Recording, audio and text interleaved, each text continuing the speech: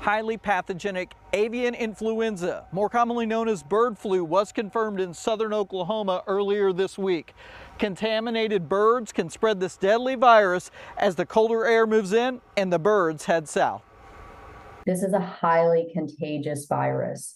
And so it is something that we want to address head on. Rosslyn Biggs, an OSU Extension veterinarian, says avian influenza usually begins spreading in the fall as birds migrate, and it has been increasing over the last decade.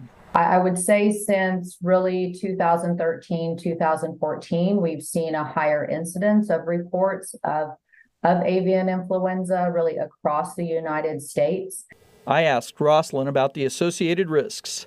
First and foremost, we want to make sure it's clear that eggs and poultry are, are safe to consume, they're safe to eat. She said it's not impossible for humans to get the virus, but it is unlikely. It's exactly the opposite for poultry, though.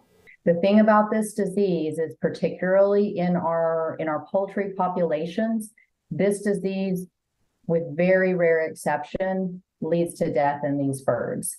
Poultry owners are encouraged to stay aware of symptoms like sneezing and keep wild birds separate. You know, we don't want our poultry owners to be scared. We want them to be aware and we want them to take the appropriate action. While depopulation through euthanasia is necessary for birds that have been exposed, it's important to report any suspected illness for the protection of others and to keep avian influenza as contained as possible.